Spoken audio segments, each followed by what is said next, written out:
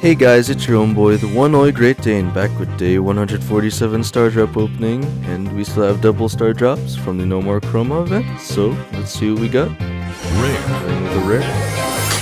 100 token doublers. Rare. To another rare. 100 token doublers again. And a mythic. A thousand coins out of mythic's pretty good. Epic. An epic.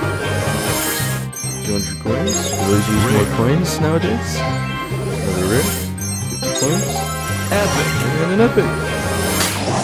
100 power points. So again, getting anything too great out of the higher rarities. I mean, again, I can't really complain about a thousand coins.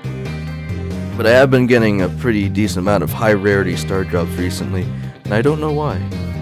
For daily freebie, we have 10 power points. If the Retropolis offers are still in the shop, looks like they end after today or this weekend. And in the news tab. It looks like we've unlocked the Chroma Shower events on the rewards track for this event. So, as long as you play and collect your daily, well, it's not even daily, I guess, but as long as you collect all your tokens you can get, which you can now see in your quest tab, how many battle tokens you have, is the amount of chroma that you can get from this event. So, you can get an additional 200, which is pretty darn significant. Actually, I, I don't think it's a one to one ratio. I think it was half if I remember correctly.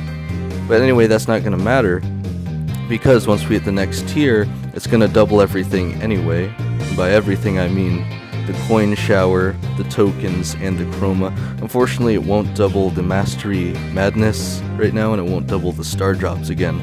However, if you're looking for more mastery, once we hit the red tier after that, it will double the mastery, so that's going to be pretty darn huge. I I don't know if they've ever given out that much mastery before, so again, the best advice I can offer is to make sure that you're playing all of your chroma Slow characters the and trying to get them all to silver tier 3. The rest of the gold tiers don't really matter, and it would take an incredibly long time, even with the double mastery, to even get them.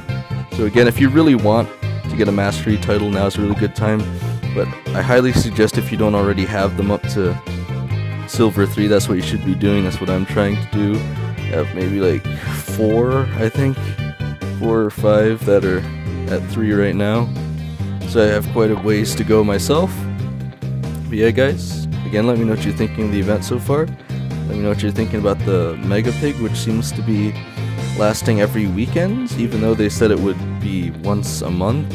I, I feel like they might have switched it. I'm not 100% sure. But other than that, as of today, I have 4,390 token doublers and 14,108 power points that I'm very likely never going to use. So without further ado, let's see how far you can take this, guys.